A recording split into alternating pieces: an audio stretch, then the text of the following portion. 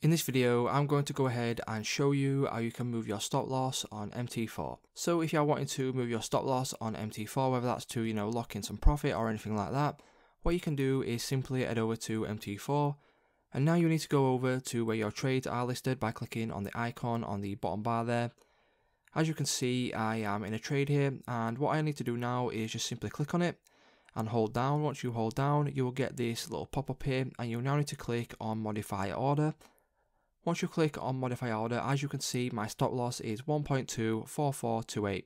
So what I'm going to do is I'm going to move my stop loss to 1.24257. So what you want to do is just clear this little number here.